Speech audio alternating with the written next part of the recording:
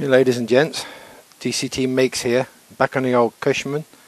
Um, progress. Uh, we have a new air, handmade air filter to fit that GX670 um, carb. Um, I know it doesn't have exactly the same volume, but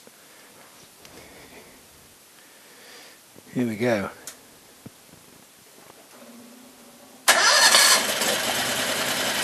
Straight off. No hesitation. Best it's ever run.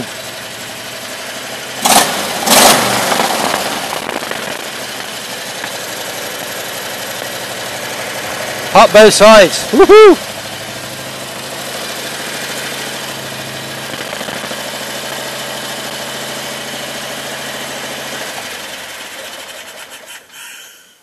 There you go.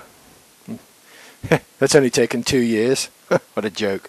Uh, anyway, so what we're doing now is I've just taken all of this junk off that was uh, holding a beam at the back. Um, stupid arrangement because I didn't have the uh, ram and any of the hydraulics for this. Um, I decided to, just as we were moving some dirt and stuff, to put a uh, small winch on that went up oh, point like up to about here, over a pulley, back down, and picked the back of the bed up, and it just hoisted it up. It lifted the bed full of clay and dirt, no problem. Uh, obviously, this is just temporary. So what, what I'm doing now is I am going to take the winch off and reroute all the electrics for the winch back down.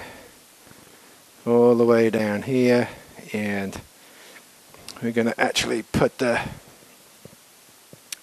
winch on the front here on this beam at the front.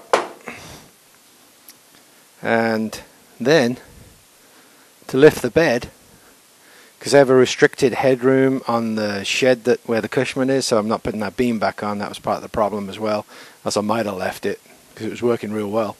Is uh, to actually uh, put an electric trailer lift in it, a 3,500 pound trailer lift, way more than it's needed. But there's that guy. Yes, Harbor Freight. Giving it a shot. We'll see. Um, that will go, the base will come out, the pin, it'll swivel, and I don't know if you can see it, maybe down there, there is a pin layout right here, I'll drop that, I'll move these out and drop those in there, and then it'll come up and it'll join onto the, the back of the actual bed and then we'll be able to lift it up and down. It doesn't have to go up very far.